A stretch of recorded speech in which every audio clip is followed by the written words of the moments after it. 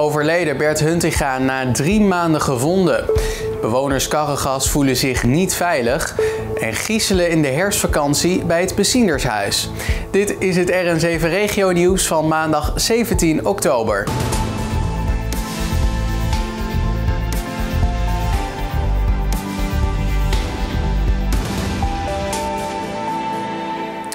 Dit weekend kwam er een einde aan de maandenlange zoektocht naar de vermiste Nijmegenaar Bert Huntinga. Zaterdagmiddag vond de politie een lichaam in een bos bij Winsen. Na onderzoek bleek het om de 54-jarige Huntinga te gaan. In een bosperceel aan de Begijnenstraat in Winsen werd Bert afgelopen zaterdag gevonden door jagers. Inmiddels was hij al drie maanden vermist. Naar verwachting is hij op 10 juli van huis vertrokken om vervolgens niet meer terug te keren. Toch werd zijn vermissing pas enige tijd later opgemerkt. Ja, dat is eigenlijk best wel bijzonder. Um, Bert is op 10 juli al van huis gegaan, maar pas op 1 augustus is zijn vermissing eigenlijk opgemerkt omdat hij toen op zijn werk uh, niet verscheen. En toen heeft zijn werkgever aan de bel getrokken. En toen is zijn, uh, in ieder geval zijn zoon en misschien ook nog wel wat vrienden naar zijn huis gegaan. En toen hebben zij dus een afscheidsbrief gevonden. En toen zijn ze in de buurt gaan vragen. En op een camera was uh, zichtbaar dat hij 10 juli s'avonds van zijn huis uh, wegfietste. Dus hij is waarschijnlijk 10 juli al ja, van huis weggegaan. De afscheidsbrief bestond uit maar liefst 27 A4'tjes. Daarin liet Bert weten in een straal van 8 tot 14 kilometer vanaf de Nijmeegse wijk Wolfskuil te kunnen worden gevonden. Uh, nou, dat klopt. Hij wilde dus, ondanks dat hij zelfmoord heeft gepleegd, wilde hij wel heel graag gevonden worden en begraven worden. En hij heeft dus in die brief ook heel duidelijk aangegeven waar hij uh, lag. Dus uh, nadat dat bekend is geworden, heeft uh, zijn zoon Marcel heeft ook op sociale media en bij ons en andere media um, ook aangegeven waar hij eventueel zou liggen. En halverwege augustus heeft Signy Zoekhonden, die met vrijwilligers werken, ook bijna elk weekend geprobeerd om in de gebieden die dan aangegeven waren in die cirkel, om daar uh, naartoe te gaan en ook naar het water, om te zien of daar zijn fiets misschien zou liggen. Het nieuws van zijn vinding, dat zondagmiddag naar buiten kwam, kwam voor de familie van Bert niet onverwacht, maar wel hard binnen. Tegelijkertijd hadden ze het al wel een plekje gegeven. De laatste keer dat ik aandacht uh, had, of uh, de contact had met Marcel was uh, begin september, toen hij bijna twee maanden vermist werd. Ja, en uh, zijn zoon was eigenlijk al in de veronderstelling dat zijn vader niet meer levend gevonden zou worden. En hij was daar ook redelijk gelaten onder. Hij had eigenlijk de moed opgegeven dat hij nog in leven was. En um, ja, hij probeerde zijn leven zo goed en uh, ook kwaad als het kon uh, gewoon weer op te pakken. Tot slot was er nog enige onduidelijkheid in de media over de leeftijd van Bert. Want was hij nou 53 of 54 jaar? Op 31 augustus is uh, Bert 54 geworden, maar waarschijnlijk was hij toen al overleden. Dus dan zal het eindelijk leeftijd zal waarschijnlijk op 53 worden vastgesteld. Want hij is natuurlijk wel 54 geworden in die tijd. Maar waarschijnlijk uh, leefde hij toen niet meer. Maar ik ga ervan uit dat er dus autopsie wordt uh, gepleegd. En dan kunnen ze ook wel bepalen wanneer die overleden is. Wil je naar aanleiding van de bericht met iemand praten over zelfdoding? Neem contact op met 113 zelfmoordpreventie via 0900 0113 of kijk op 113.nl. Rondhangende jongeren, drugsgebruik, seks op auto's en vechtpartijen. Met name vrouwen rondom de Nijmeegse straat Karregas voelen zich niet meer veilig. Ze vinden dat er snel iets moet veranderen. De vrouwen trekken aan de bel naar aanleiding van het incident dat hier afgelopen zomer plaatsvond. Deze twee jonge mannen lijken zich uitstekend te vermaken in het centrum van Nijmegen. Wat lallend lopen ze over straat. Maar al gauw slaat die stemming om. Eerst moet een fiets het ontgelden. Het was de vroege nacht van 17 juni toen hier twee jonge mannen in een zwart en een wit shirt in de karregas met een fiets gingen gooien. Aan de andere kant van het blok woningen bij de Bloemenstraat en Café de Plak komt op dat moment een 42-jarige man aanfietsen. Die de jongens later hier zal passeren. Wanneer ze doorlopen komen de jongens de man tegen. De jongen in het witte shirt versnelt naar de man toe en duwt hem van zijn fiets af. En vervolgens begint het schoppen en slaan.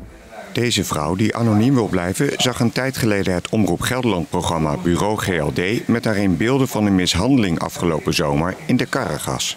Het is chockerend voor mensen van buitenaf. En voor ons is het, ja, zat er een keer aan te komen. Want volgens de bewoners gebeurt hier s'nachts van alles. Er zijn altijd wel jongeren hier of drugs te gebruiken, of seks te hebben, of gewoon te hangen.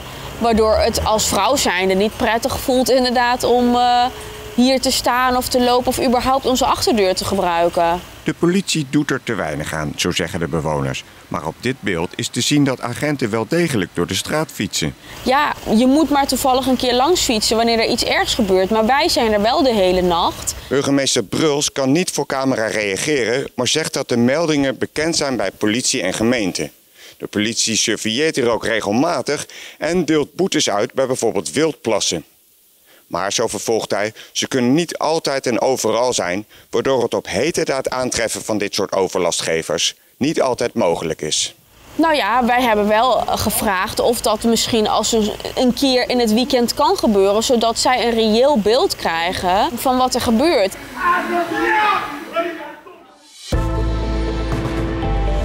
Bij een aanrijding tussen een fietster en een automobilist op de Sint-Anna-straat in Nijmegen is zondagavond een 19-jarige vrouw uit Nijmegen zwaar gewond geraakt. De bestuurder, een 20-jarige man uit Nijmegen, is aangehouden voor gevaarlijk rijgedrag. De oorzaak van de aanrijding is nog onbekend. De politie had de Sint-Anna-straat tijdelijk afgesloten voor het overige verkeer.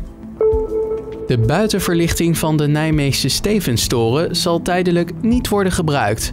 Dit gebeurt in de periode van 17 tot en met 30 oktober. Met deze actie wil de gemeente aandacht vragen voor de Rijksoverheid-campagne Zet ook de knop om. Inwoners en bedrijven worden zo opgeroepen om ook energie te besparen. Verder organiseert de gemeente de komende tijd bijeenkomsten en andere lokale acties over energiebesparing. De beschilderingen in de twee tunnels van Dukenburg zijn af. Kunstenaar Johan Moorman heeft de beschilderingen gemaakt. Het idee komt van een bewonersinitiatief voor het 50-jarig bestaan van het stadsdeel Dukenburg. In de tunnel tussen Zwanenveld en Langvorst vertelt de wandschildering over het verleden. De tunnel tussen Malvert en Wezenhof gaat over de toekomst. De schilderingen zijn voorzien van een QR-code. Door de code te scannen krijgt de kijker achtergrondinformatie van de afbeeldingen en thematiek. NEC verloor zondag met 2-0 van Sparta. De Nijmegenaren kwamen al snel op achterstand na een dubieuze corner. En later werd het 2-0 door een blunder van keeper Sillissen. NEC speelde een slechte wedstrijd en kwam eigenlijk niet tot kansen. Trainer Meijer was na afloop ook niet tevreden over de inzet en de beleving van zijn ploeg. NEC weet nu al acht wedstrijden op rij niet meer te winnen en moet nu eerder naar onder kijken dan naar boven. De Nijmeegse voetbalclub staat namelijk op plek 11 met nog maar twee punten voorsprong op plek 16, dat na competitie betekent. De dorpskermissen staan onder druk. Het animo onder exploitanten loopt terug omdat een dorpskermis te weinig zou opbrengen. Eerder dit jaar ging de kermis in Winsen al niet door. En in Bergharen en Niftrik waren er geen exploitanten te vinden met botsauto's. In Batenburg was dat afgelopen weekend hetzelfde geval. Vrolijke gezichten in Batenburg. Na twee jaar corona kan de dorpskermis eindelijk weer plaatsvinden. Gezellige kermis. Gisteravond hebben we een feest gehad in de tent. Ja, we willen nog meer zo'n klein gezellig dorp als Batenburg. Het is natuurlijk normaal een voetbalclub die iets te bieden heeft. En nu is het een ander soort vermaak wat één keer per jaar voorbij komt. Tot heden loopt het goed. Alleen we hadden in het verleden de botsauto's.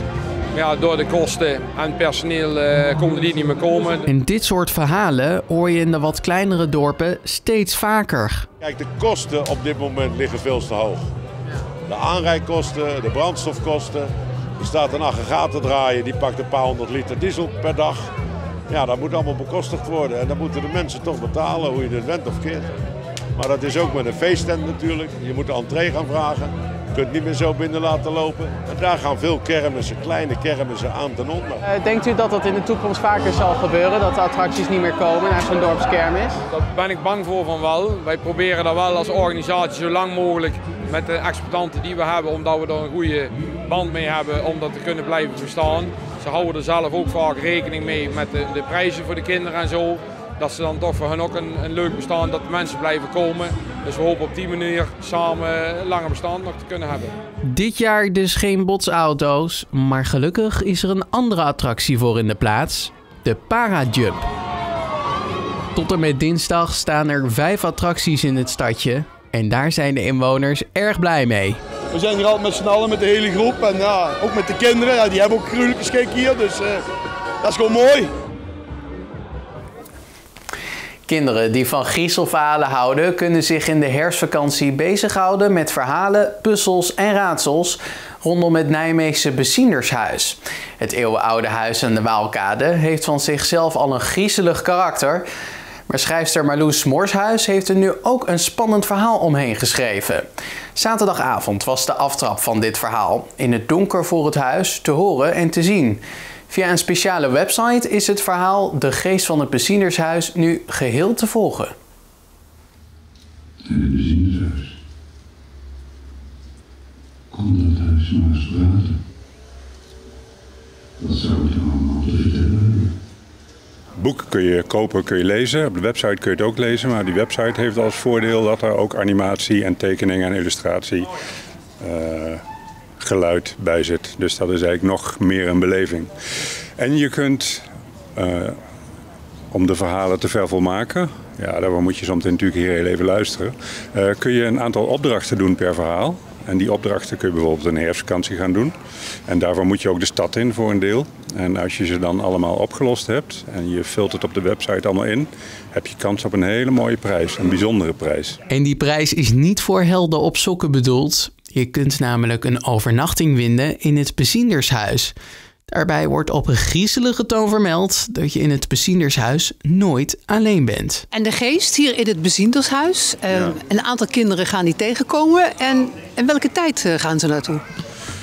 Uh, ze, uh, ze, gaan uh, vanaf 70 na Christus, dus in de tijd van dat de Romeinen hier waren, ga je tot aan 1981 toen de krakersrellen waren. En allerlei tijdvakken eigenlijk daartussenin, die ga je beleven in zes verhalen. Dus je leert over de geschiedenis van Nijmegen op een heel spannende manier. Ook dingen die echt gebeurd zijn, mensen die hier echt in dit huis gewoond hebben. Um, die hier dood gegaan zijn, die hier geboren zijn, die hier gelukkig geweest zijn. Nou ja, en, en dat maak je allemaal mee in die verhalen.